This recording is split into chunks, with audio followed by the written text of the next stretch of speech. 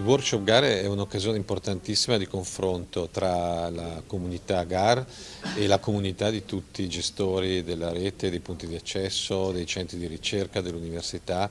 che sono i primi utilizzatori, ma non sono utilizzatori passivi perché sono anche sviluppatori di nuove soluzioni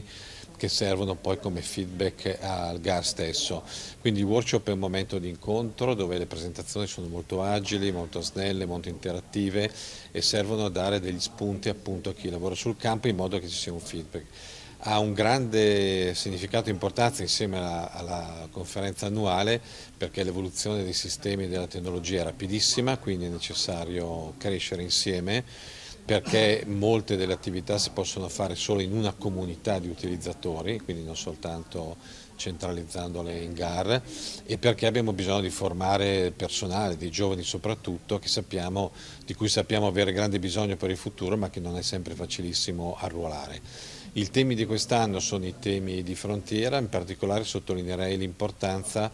che è stata data agli usi che possiamo fare, gli usi complementari che possiamo fare della rete che abbiamo. Abbiamo un'infrastruttura, la stiamo potenziando, la sappiamo gestire bene da tanti anni, adesso ci stiamo interrogando sia un miglioramento che è il nostro core business dell'infrastrutturazione, ma anche dei tanti servizi che possiamo aggiungere, sovrapporre diciamo così, alla rete che utilizziamo, come per esempio ieri è stato presentato la possibilità di utilizzare la rete fibrotica anche come sistema di monitoraggio di eventi rari che possono avvenire sul territorio. Quindi